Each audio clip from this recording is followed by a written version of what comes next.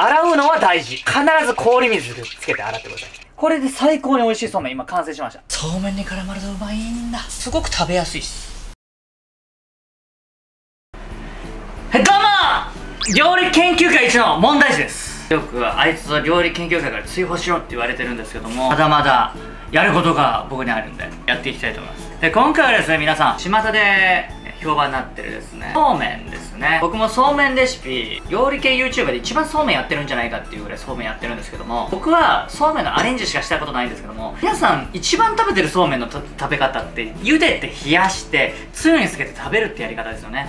であのやり方をじゃあ料理研究家が本気でやったらどういう風な食べ方になるのかっていう風な僕が思うですね一番美味しいそうめんの食べ方。これを皆さんに伝えたいと思いまして。水で冷やしてで氷水に入れて氷水に入れたまま提供する方とかそれか水を切って氷を乗っけてっていう方えー、もしくはも氷なんか薄まるからいらないよっていうやり方いろいろあると思います。そこに、えー、終止符を打つわけではないんですけども僕が、えー、考える一番美味しいそうめんの食べ方これ以上ないです。僕相当そうめん食べてますけど。そんなそうめんの食べ方ね最近こう話題になったあのー、そうめんの食べ方もいろいろありますけど僕がもう一番美味しい食べ方っていうのを皆さんに伝えたいとまあ思います。リュウジのバズレシピ。えまずはですねえっ、と材料なんですけどもまあまあまあまあまあまあもう材料というか食べ方なんで、えそうめんです、えー、で今回ねイボの糸使います。はい。えっ、となぜかというと僕が子供の頃イボの糸を食べてたからです。うちのおばあちゃんはイボの糸しか買わないって言ってました。はい。だからイボの糸で育ったんでイボの糸やります。あのイボの糸って晩秋そうめんなんですけどもいろんなそうめんあってそれぞれ味味とか食感とか違うんですけども一つ言いたいのは手延べそうめんを買ってください。手延べそうめんは全て食べましたけど僕はどれもねコシがあって美味しいです。はい。手延べそうめんを買っていただいた方がすごくえ、ー、と美味しいそうめんができると思います。コシが違いますね。卵1個使いますね。鰹節。まあこれ調味料に入るかなとは思うんですけども。で今回はですね茹で方もそうなんですけどもそうめんに一番合う最高のつゆこれもしかしたら食べたら市販品使えなくなるかもしれないですあの気をつけてくださいはいそれぐらい僕が美味しいと思ってるそうめんつゆの作り方も合わせて、え、ご紹介しますので、えー、ぜひチェックしてみてくださいじゃあやっていきますそうめんを作る上で何が大切かっていうと、そうめんってすごく喉越しがいいじゃないですか。なので、やっぱりね、喉越しっていうものをすごく意識しなきゃいけない。最高に喉越しがいいものっていうのを学んでからやりたいと思いますんで、ちょっと待っててください。じゃあですね、最高に喉越しがいいものって何かって言ったらやっぱりね、ビールですね。一番塩は糖質ゼロ。うまいんだよね、これね。最高に喉越しがいいものを理解するために、最高は喉越しがいいドリンクを飲んでいきます。一番になりますキンキンに冷えてやがるぜということで、えー、喉越しをね、理解したところでやっていきたいと思います。えー、じゃあですね、えっと、まず、つゆを使う、そうめんつゆを作っていきます。3、4人前、えっ、ー、と、できます。この分量で。この鰹節。鰹節の、この、香ばしい鰹の香りっていうのは、やっぱね、節じゃないと出ない。顆粒の鰹だしとかもいろいろあるんですけども、やっぱりね、この鰹の香りが一番活かせるのは鰹節です。池森システムって言ってるんですけども、1年間ほとんどそばを食べてるあの池森さんにこの間教わったんですけども鰹節 6g こいつをえーと、小皿に乗せて電子レンジであ50秒。チンするんですそうするとね後でねあの水分が抜けて粉にねできるんですよ。このやり方を覚えて僕に革命が起こります。はい、えー、そうしましたらですねちょっと熱いんですけども水分が抜けてるんでこうこうコショコショやるとカツの粉になってくるんですね。こいつをそうめんつゆに入れるとなんとですねカツオの粉だとねこさないでいいんですよね。こさないでも非常に美味しくなる。かつお節の当たりがなくなるんですね口に対してのなんで僕はこの方法ね最強の方法だと思ってます。なってるでしょこれ。これね電子レンジで水分が抜けたらこうやって粉になるんですよ。この香ばしい香り。これで一番になります。最高ですよこれは。こいつを使ってそうめんつゆを作っていきます。じゃあですね、えっと、つゆ作っていきます。つゆもですね、まあ、いろんなやり方があると思うんですけども、今回はね、えっと、出汁を取らないやり方。正直言ってこのやり方だと丁寧に出汁を取って作ったそばつゆと同じ味します、え、なぜなら科学的に成分が同じだからです。ちょっと説明していきます。まずお醤油。大さじ4杯ですね。大さじ4杯ですから 60cc ってことです。あの大さじで測るのが面倒な方は 60cc を用意してください。まずお醤油。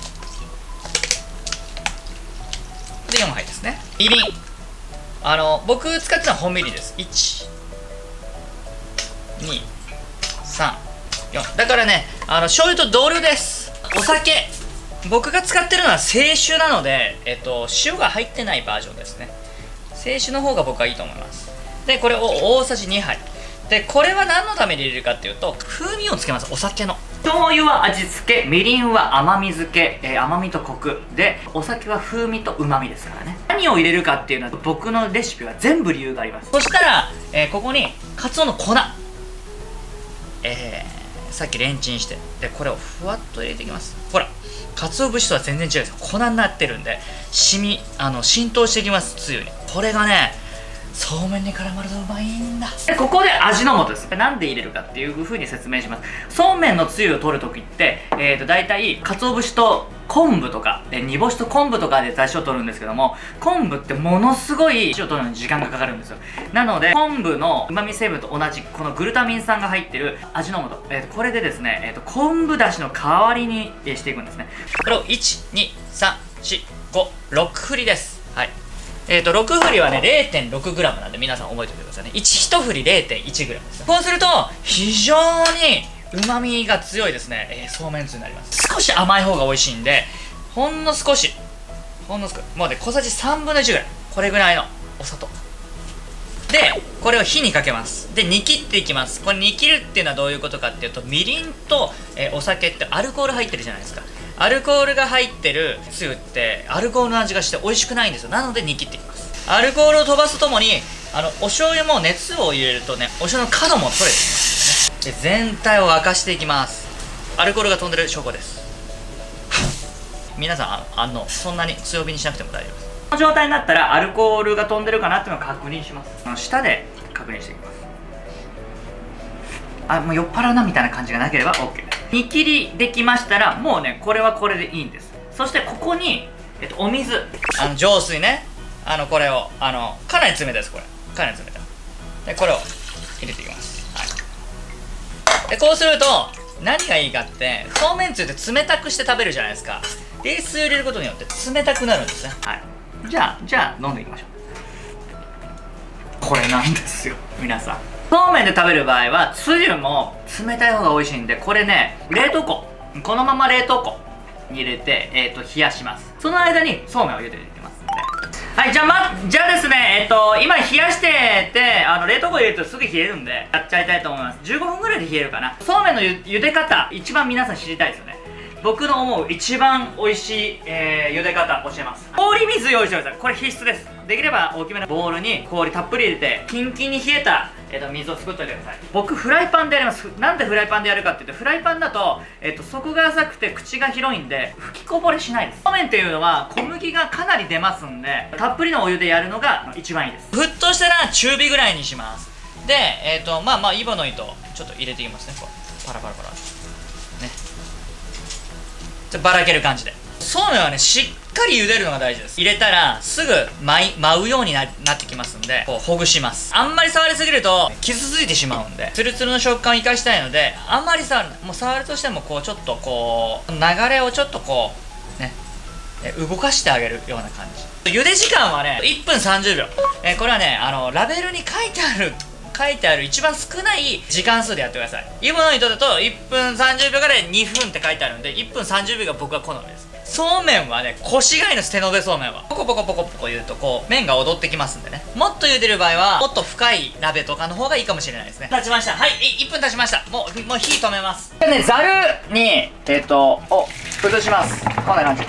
まず流水でこの表面の油とか塩分とかを洗い流します。キュッとキュッと、えー、絞って。でここにさっき用意した氷水。ね。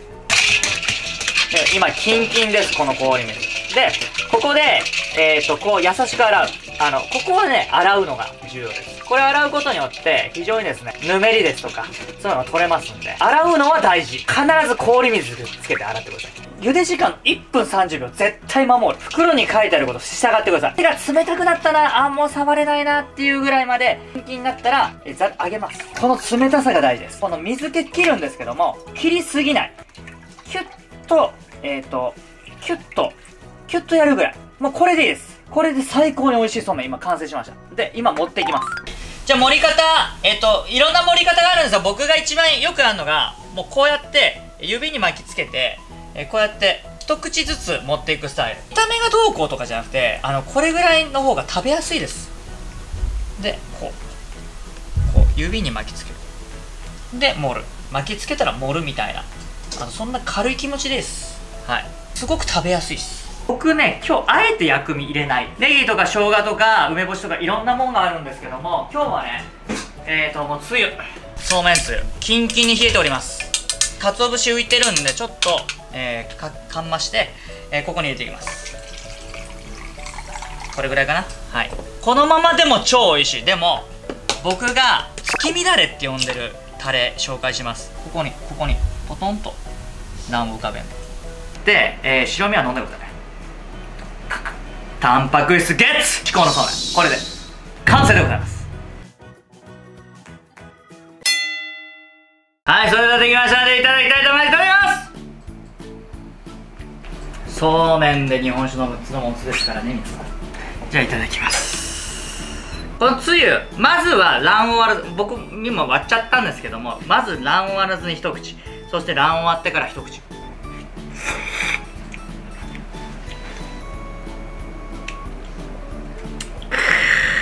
んまり語りたくないこれは。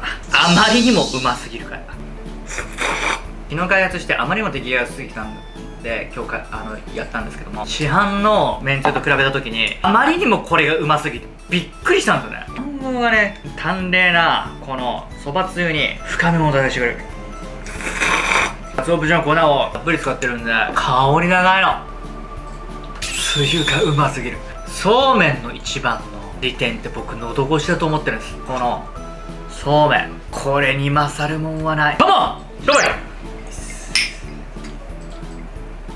まずはつゆだけでやってください。いただきます。全然違う。鰹節の香りすごいです。市販の希釈のめんつゆってすごく便利ですごく美味しいんだけど、うん、でもカツオの香り全部失われるからちょっと卵黄バージョン。卵黄を崩して濃厚。めちゃめちゃうまいです。そうめんの茹で方はこれ。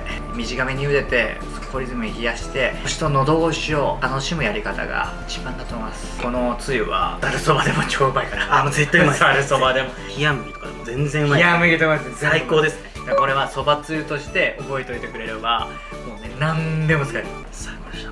うえすごちそうましためっちゃ早いな今日のそうめんの食べ方どうでしたでしょうか？茹で方は結構スタンダードにやったんでつゆあのやり方で作ってる方僕見たことないんであれで食うとめちゃめちゃうまいんで。そうめんってちゃんとあの茹でて氷水で食うとこんなうまいんだっていうのを皆さんに教えたかった。なのでぜひ皆さん試してみてください